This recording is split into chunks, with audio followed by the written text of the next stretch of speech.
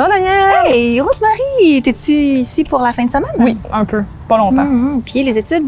Ça va bien, mais je suis beaucoup dans l'éco-anxiété, fait que des fois, on dirait que c'est un peu démotivant. euh. Oh non! Ouais. Oh là là. Tu veux-tu qu'on prenne euh, le temps d'en parler? Mais bien sûr, check, il y a le cornu, là. Juste là, le cœur cornu. Ah, le cœur cornu, c'est vraiment une chouette place. Bien. Allons-y.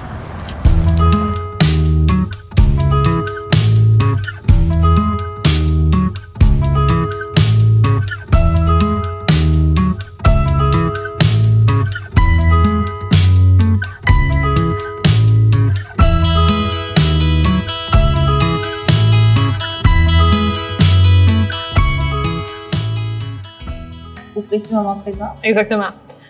Pas renverser mon verre. ça s'annule pas. Donc, euh, tu es impliqué dans le mouvement, euh, ben, en fait, dans l'événement euh, le Vendredi pour le futur. Oui, euh, ça fait plusieurs années. Mhm. C'est pas la première fois que je m'implique là-dedans. Euh, avec mon travail à Solidarité Nord-Sud et Bois-Franc, Mhm. où je suis responsable des communications et de toutes sortes d'autres affaires. Le programme éducatif, euh, dans le sens où j'organise des événements publics Mhm. euh, que j'anime souvent, ou j'ai des invités ou des conférenciers conférencières, et je suis aussi dans les écoles. Mhm. Dans le cas du Vendredi pour le futur, qui aura lieu très bientôt le 29 septembre, ben ça, c'est l'initiative de Greta Thunberg et de Ouais. toutes les autres jeunes gens. Ce sont beaucoup des jeunes femmes aussi qui s'impliquent partout dans le Mhm. monde. Et ce sont beaucoup des jeunes femmes euh, de nations autochtones aussi. Euh, à Victoriaville, il y a déjà eu une grande marche il y a quelques années. On Mhm. avait eu beaucoup de gens. En 2019, si je me trompe pas. Ouais. Ouais. Euh, bon, cette année, on, on est euh, avec le Cégep, Mhm. donc le syndicat des profs. Il y a encore, comme l'an passé, des enseignantes et des enseignants Mhm. qui vont offrir des ateliers, tout ça. C'est vraiment un événement, oui, à la fois festif Mhm. et informatif. Donc, on veut sensibiliser la population, puis évidemment, euh, on veut que les gens se mobilisent. Ouais. Moi, je dis souvent, euh, que ce soit Vendredi pour le futur, que ce soit Mère au front, Oui, mon cœur Carrie, que je porte fièrement, je suis militante. Oui. Tu sais, on fait ce qu'on peut là où on est rendu dans notre vie, avec les moyens qu'on a. C'est Mhm. pas euh, donné à tout le monde de pouvoir acquérir une voiture électrique vrai. ou autre chose. Ben, on, on, on fonctionne avec ce qu'on a, avec les moyens qu'on a et avec les connaissances qu'on a. Moi, j'aime bien discuter avec les gens ou euh, faire de la sensibilisation ou de l'information parce que je pense qu'on a besoin de parler de ça. Ouais. Je pense que c'est important. Euh, on a eu un été extrêmement chaud. Oui. On a eu des situations extrêmement catastrophiques euh, où il fait trop chaud, où il y a trop d'eau, Oui. Où il y a pas assez d'eau. où il y a pas assez d'eau. Euh, tu sais, des glissements de terrain avec Ouais. des gens qui meurent. Je veux dire, il y a eu des choses graves Mm-hmm. qui se passaient avant dans des pays éloignés du nôtre et on ne voyait pas ça. Mm-hmm. Ouais. Et là, maintenant, c'est dans notre pays aussi que ça se passe et au Québec et tout près de chez nous. Et euh, juste pour qu'on le dise clairement, c'est quoi votre objectif d'informer? Qu'est-ce que vous voulez informer les gens? Ben, euh, encore là, Ouais. les décisions qu'on peut prendre à notre mesure de citoyenne et de citoyen, Ouais. c'est une chose. Ouais. C'est Donc, des euh, actions qu'on peut faire comme citoyen. C'est ça, des Oui. gestes qu'on peut poser. Mhm. Mais ça, ça c'est sensibilisation, information Oui. et mobilisation. Ouais. C'est un morceau. Mais tout le plaidoyer, ah ben là, attends, là, c'est une autre Mhm. patente, là? Là, c'est de dire aux personnes qui nous dirigent, je veux bien, moi, faire plein de choses. Je peux bien prendre Oui. des décisions euh, financières ou peu importe, ou faire des actions. Mais il faut que les gens qui sont en position de responsabilité et de décision, Aille dans le même sens. voilà, Ouais. et et c'est un désir citoyen, je pense. Hein? C'est une volonté citoyenne de faire des changements importants. Ben là, les dirigeants, ils, vont devoir suivre. euh, Tu sais, on n'aura pas le choix, là. Tu sais, moi, je suis une grand-mère. Hein? Oui. Je suis une mamie. Euh, Puis c'est pour ça que je dis que je suis mère au front et grand-mère au front. Ouais. Mais c'est pas moi qui... Tu sais, moi, dans 50 ans, je pense pas que je vais être encore là. J'aurai Mhm. plus de 100 ans. Tu sais, je pense pas que je vais être encore ici. Toi, tu vas être ici. Ouais. Dans 50 ans, toi, tu vas être ici. Ouais. Tu vas être sur la terre, tu vas être avec ta famille, ben, peu importe. Ça va être quoi l'air qu'on respire? Je pense que ça va être avant ça. Ah oui, hein? tout à fait. Donc, il, il est extrêmement important de faire un plaidoyer, et c'est ce que Mère au front Mhm. met de l'avant. Euh, Mère au front, on dit euh, nous bercerons d'un bras et nous brandirons l'autre. Et c'est pas rien. Mhm. C'est très très significatif. Moi, j'adore cette phrase-là parce que oui, on, on, on peut s'occuper de nos enfants, mais justement, Mhm. on va s'occuper de leur futur. Et pour ça, on va dire à- aux personnes qui nous dirigent, ben, on vous a placé là, on est allé voter, euh, ben maintenant, euh, il faut agir Oui. en, en toute responsabilité avec la situation, avec ce qui se passe. Puis c'est certain qu'il va y avoir des décisions difficiles à prendre pour tout le monde. Mhm. Est-ce que tu penses que c'est légitime de dire que l'État tente de mettre la responsabilité de l'écologie sur les humains individuellement, mettons, de leur dire ah acheter plus écologiquement et ça va régler le problème, alors qu'en réalité, euh, on s'entend que si on faisait, on avait tout un potager, euh, les compagnies de pétrole existeraient quand même. Là. Ouais, ouais, ouais. Je, je sais pas si les gouvernements pensent ça réellement, là, mais euh, je- tu sais, c'est une partie de la solution, faire en sorte que les citoyennes et les citoyens se prennent en main. Ouais. Le plus gros montant d'argent à investir dans toutes ces affaires-là, c'est pas ni toi ni moi qui, qui l'a dans nos poches. Non, c'est ça. Et, et les décisions à prendre, elles ont des conséquences extrêmement sérieuses. Euh, tu sais, euh, bon, je sais pas, moi, on peut parler de, de, de décroissance. Oui, la décroissance économique. Oui. C'est la décroissance qui fait peur à beaucoup de gens. Oui. Ben, la décroissance, bon, j'ai apporté deux, trois de mes bouquins, mais. Yves-Marie Abraham, chez Éco-Société, il va dire produire moins, partager plus, décider ensemble. Oui. Qu'est-ce que ça veut dire, ça? Est-ce qu'on est prêt à produire moins? Mhm. Est-ce qu'on est prêt à se dire collectivement, mais ça c'est tout le monde, tout le monde au Mhm. monde, un objet dans sa conception, quand on crée un objet, Mhm. dorénavant, il faut se dire quand la vie utile de cet objet-là sera terminée, il va aller où? Est-ce qu'on peut le, le- le récupérer? Mhm. Est-ce qu'on peut en faire autre chose? Tu comprends? Oui. Et si la réponse est non, il faudrait pas le produire. C'est aussi raide que ça. Mais c'est tout à fait légitime. Euh, c'est d'utiliser et de puiser des ressources qui vont s'épuiser. Oui. C'est pas logique. Mhm. Parce qu'à un moment donné, il y en aura plus. Euh, on peut pas tout le temps baser euh, notre, notre économie et notre revenu sur quelque chose qui, qui est pas, euh, ben, qui est pas renouvelable, en fait. Pourquoi tu j'ai l'air de dire des choses euh, un- peu nounounes. Je pense pas, non. Mais Mais qu'est-ce qu'on fait en ce Mhm. moment? Mais je veux dire, collectivement, tu sais, souvent, je vais dire ça, euh, puis dans les, les organisations, euh, les conférences, à mon travail à Solidarité Nord-Sud, euh, quand on est devant des gens dans un événement public. Est-ce que vous avez été sensibilisé? Est-ce que vous avez appris des choses ce soir? Oui. Mhm. Est-ce que ça vous donne le goût de vous mobiliser? Oui. Allez-y. Et je demande tou- toujours, toujours aux gens, mais si vous avez appris quelque chose et si quelque chose vous a touché et ça Mhm. vous a donné, donné le goût de vous mobiliser, parlez-en à quelqu'un autour de vous. Et surtout, parlez-en à quelqu'un qui a besoin d'entendre ce discours-là. Il faut commencer euh, à semer des petites graines Oui. un peu partout autour de nous pour que les choses changent de façon durable, de façon efficace. pourquoi tu penses que l'État en fait pas plus? Euh, parce que il y a des questions d'argent derrière tout ça. Ouais. Parce qu'il y a des gens qui vivent trop. Euh... Au-dessus de leurs moyens. Ben, pas au-dessus de leurs moyens, mais. Ouais, mais je, je, je pense que on n'a pas de vision, Mhm. ou alors une vision à très courte vue.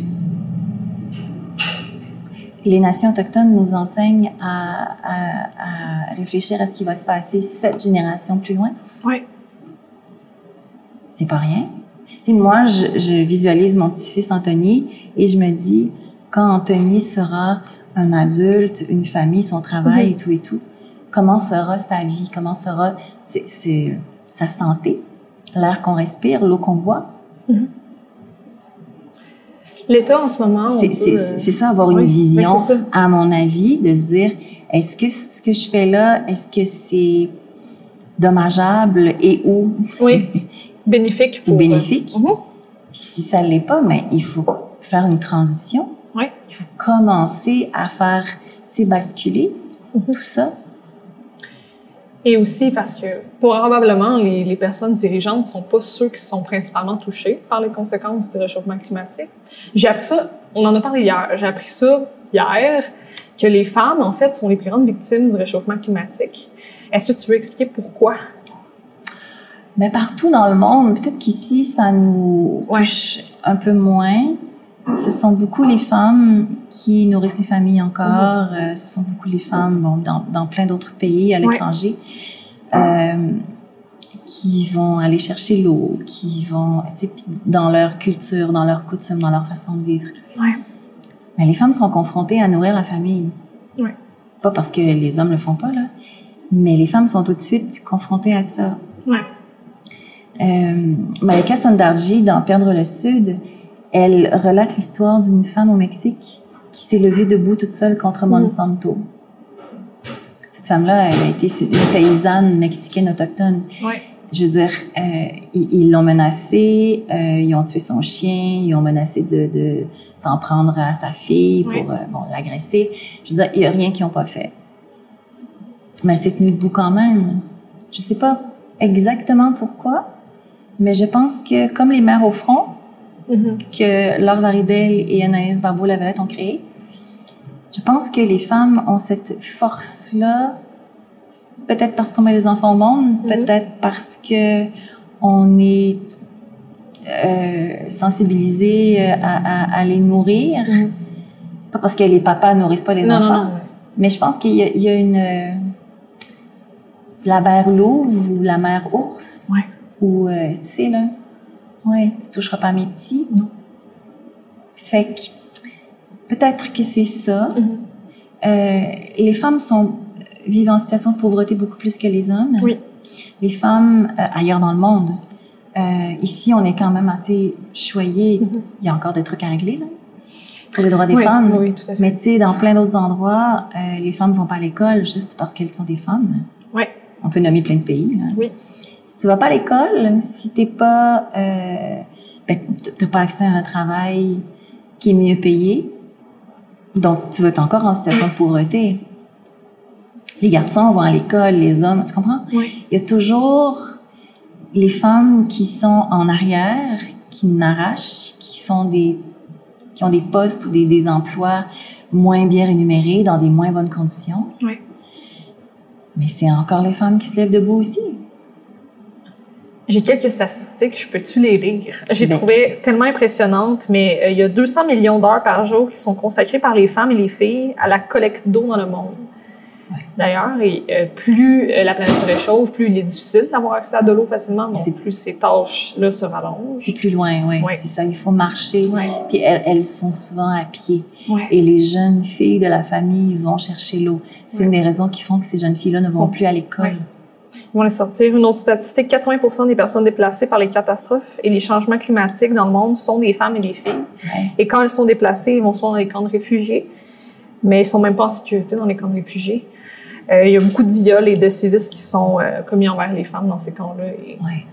c'est horrible, au fond. Il n'y a aucune solution pour ces femmes-là. sont juste pris dans... euh, C'est c'est très dramatique. Oui, tout à fait. Sais, euh, dorénavant, moi, je pense que dans un pays comme le nôtre, Il y a deux choses à mettre de l'avant. Ces deux choses-là vont ensemble. Mhm. L'accueil aux personnes réfugiées Tout à fait. Oui. et euh, travailler à contrer les changements climatiques. Ouais. Et ces deux affaires-là marchent ensemble parce que il y a beaucoup de gens qui vont venir vivre ici parce que ce seront, et c'est déjà le cas, des réfugiés climatiques. Et les femmes s'en viennent ici avec leurs enfants aussi en cherchant refuge. Il y a pas beaucoup d'autres choses à faire de plus important que ça, à mon avis, que d'organiser notre société, notre communauté pour mieux vivre ensemble Oui. et mélanger toutes nos différences pour faire un beau grand, euh, Une belle grande soupe. une un beau grand paquet de, de, de richesses. Oui. euh, oui, Oui, tout à fait. oui. Oui. Et l'accueil, le, le euh, bon, il y a des gens qui ont peur que euh, la langue française euh, Disparaissent. disparaisse. Ben non, non. Il n'y a pas, euh, il y a, il y a pas à se poser de questions là-dessus. Les personnes qui viennent vivre ici, eux, ils font, ouf, ok, ici je suis en sécurité. Je peux aller travailler, je peux, tu sais, mes enfants sont en sécurité. Mhm. Donc, ben, je sais pas moi, si on les paie pendant six mois, pendant un an pour apprendre le français. Oui, à fait. Tu sais, il y a toutes sortes de choses qu'on peut faire Mhm. pour faire en sorte que, ah, les décisions à prendre qui sont plus difficiles et où est-ce qu'il y a de la résistance, ben, c'est ça que je veux dire, c'est ce que Mhm. je disais tout à l'heure. Il y a des choix à faire. Les gens, ils vont venir vivre ici, tu sais, Rosemary. Oui. Nous, là, on a de la place a, aussi. Là, on a un grand pays, on a de l'espace, on a de l'eau. Oui. Euh, tu sais, ça se passe encore bien chez nous. C'est super important d'accueillir les gens qui auront Ouais. plus d'endroits où vivre pour un paquet de raisons, que ce soit les changements climatiques Mhm. ou les violences, c'est comme de raison. Oui, oui, oui, bien sûr. Une autre euh, statistique, statistique que j'ai lue en faisant mes recherches, c'est que euh, les femmes, lorsqu'il y a une catastrophe naturelle dans les, dans les pays, on consulte pas les femmes nécessairement. Mettons, euh, je donne un exemple de pays, mettons Haïti. Puis- Et il y a un tsunami qui arrive à Haïti, euh, les, les magasins sont détruits. On va aller consulter uniquement les hommes Mhm. mais les hommes qui sont pas nécessairement confrontés à la réalité des femmes. Alors là, les femmes qui ont des problèmes à aller chercher de l'eau, à nourrir leurs enfants, bien, c'est pas eux qu'on va, c'est pas leur problème qu'on va régler. Euh, pourquoi tu penses qu'on n'écoute pas les femmes au final? Oh, ouais, ça c'est une grande Ouais. question. Mais tu sais, on, on fait ça ici aussi. Tout à fait, on fait ça partout. Il y a euh, dans, dans les organismes de coopération internationale comme Solidarité Nord-Sud où je travaille, il y a une façon de parler qui dit, je vais parler, ne parlez pas d'elles sans elles, ne parlez Oui. pas d'eux sans eux. Tout à fait. Donc, les personnes concernées par le problème que nous Mhm. traitons aujourd'hui, mais ça prend quelqu'un autour de la table. Tu sais, si on parle des personnes autochtones qui sont dans Ouais. une situation précaire parce qu'ils n'ont pas encore d'eau potable sur leur territoire, ben, c'est parce qu'on ne peut pas parler d'eux s'ils sont pas autour de la table. Non, parle avec eux, autrement dit. Oui, mais là, euh, le patriarcat est encore très puissant dans Oui. un paquet d'endroits dans le monde et c'est pour ça que les droits des femmes sont reculent. Puis même pas juste le patriarcat, là. le, ben, le, ben, je veux dire le racisme systémique, là, mais le fait qu'il y a pas beaucoup de personnes de couleur dans les assemblées, euh, dans les gouvernements, puis pas beaucoup de personnes autochtones non plus.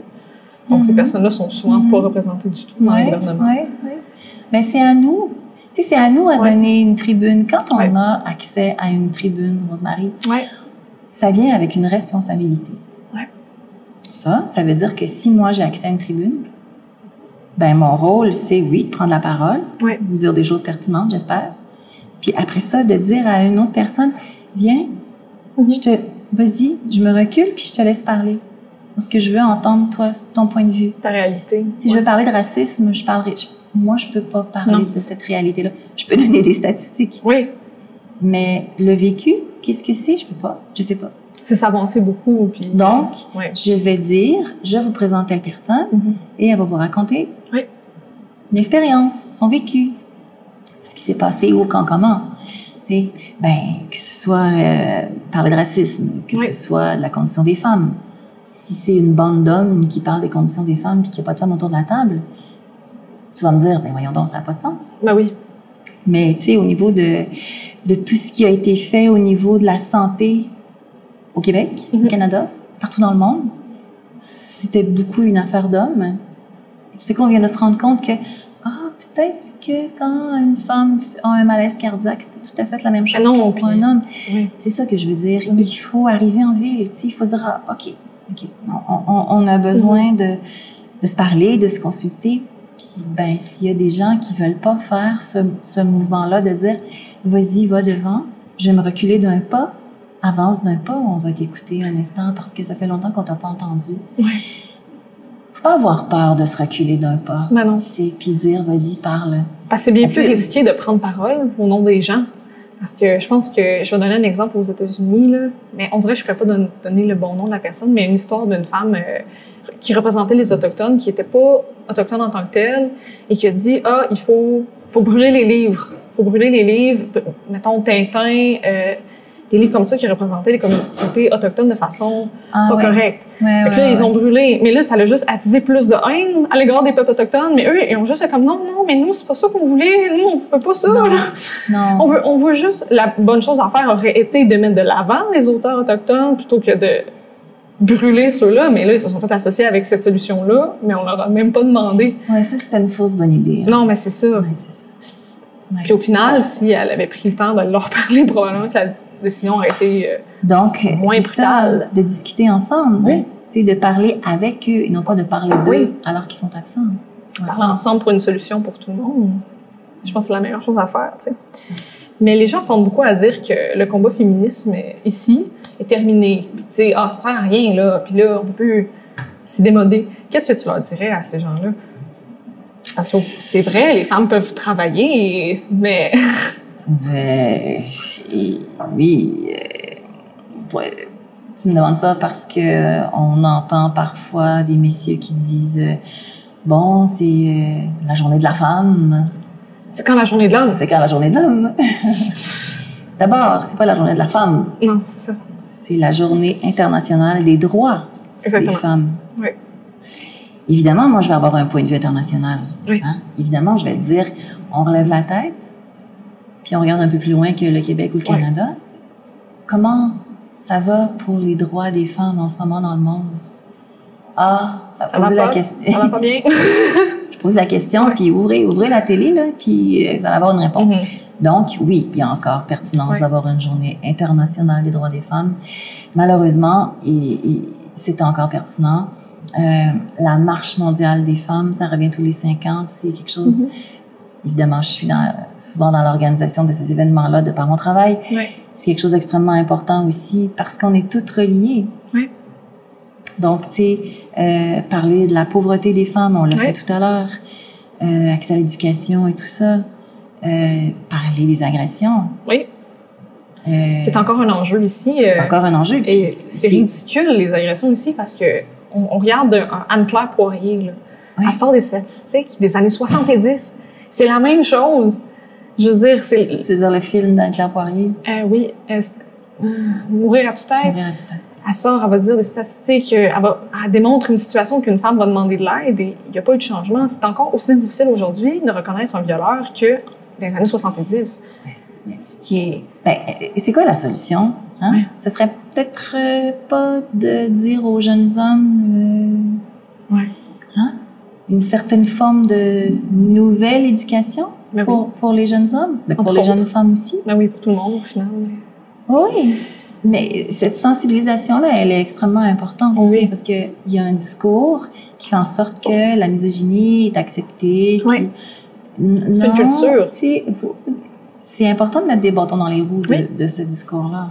Puis beaucoup de, par exemple, euh, la prostitution, euh, j'ai écouté un podcast là-dessus, les, euh, les hommes qui consomment ça, souvent, c'est parce que leur, leur père leur a dit « Ah, je t'en paye une pour ta fête » ou sinon un mononcle ou... Le travail du sexe, les hommes qui consomment du travail du sexe sont souvent initiés par leurs parents. Fait qu'au final, c'est souvent le fruit d'une éducation. Puis ils pensent que c'est bien correct. Exactement, c'est normalisé. Tu sais, Hmm. allô danseuse avec les collègues. Yeah. Ah, yes! euh, c'est c'est vendredi ouais, soir. Ouais, ouais. Pour eux, c'est ça une femme. Oui. Et pour eux, c'est ça une relation euh, amoureuse, intime. Ouais. Peu- Mais non, c'est pas ça. Mais non, c'est pas ça du tout.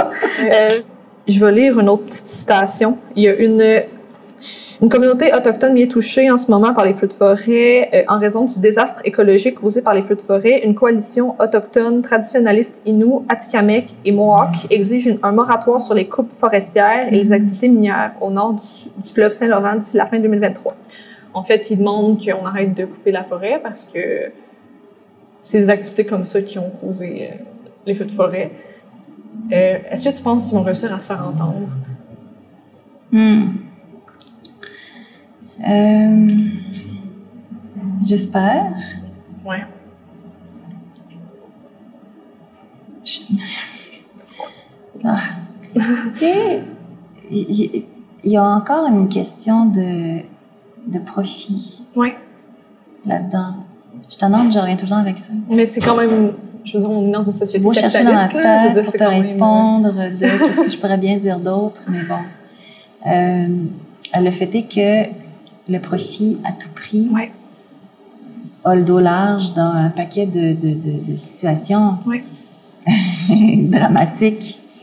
Euh, ça, c'est un atelier qui pourrait être extrêmement intéressant et pertinent, euh, et ou une classe, ou rencontrer des personnes euh, qui, qui enseignent au cégep dans ce Mhm. domaine-là. Euh, com- comment, on, comment on entretient ça, une forêt? Qu'est-ce qu'on fait avec nos arbres? Qu'est-ce qu'on fait avec notre bout de terrain chez nous, ou dans notre communauté, ou dans notre municipalité? Comment on plante? Tu sais, que- comment est-ce qu'on on peut agir, là, mais littéralement, Ouais. sur euh, ben, s'il y a des inondations, qu'est-ce qu'on peut faire pour que ce soit moins grave? Ouais. Tu comprends ce que je veux dire? Oui, tout à fait. Une façon de se prendre en main littéralement, ça, c'est vraiment se mobiliser. Parce que n'oublions pas que le pouvoir le plus près des citoyens et des citoyennes, c'est le municipal Tout à fait. Et de s'investir et de donner du temps là, dans nos municipalités, Oui. ben c'est aussi une façon de faire bouger les choses parce que là, tu sais, c'est, pas mal euh, plus proche que le provincial et le fédéral. Mhm. Oui, donc, euh, oui. C'est à Vendredi pour le futur, bientôt, le 29 septembre. Euh, c'est une organisation de plusieurs, hein. Oui. Moi, de Solidarité Nord-Sud, mais il y a des gens de la Maison des femmes des Bois-Francs, de... Euh, Mare au front. Mère au front Arthabasca érable, le syndicat des enseignantes et enseignants du cégep de Victo. Oui. Tu sais, il y a, puis, euh, tu sais, on est beaucoup, là. Il y a, y a, y a des hommes et des Mhm. femmes qui veulent que ça change. Moi, je dirais, venez, venez passer la journée avec nous, venez à nos événements, aux conférences et tout ça. Euh, venez en apprendre, venez partager, venez donner votre point de vue. Après l'été qu'on vient de passer, je pense que c'est quelque chose qui va être extrêmement pertinent et important. Il y a des décisions à prendre et ça serait le fun de les prendre ensemble. Merci, Daniel. Un autre petit euh, Et dans les yeux. C'est quoi tu santé. disais? je disais au précis moment présent. Précieux moment présent. «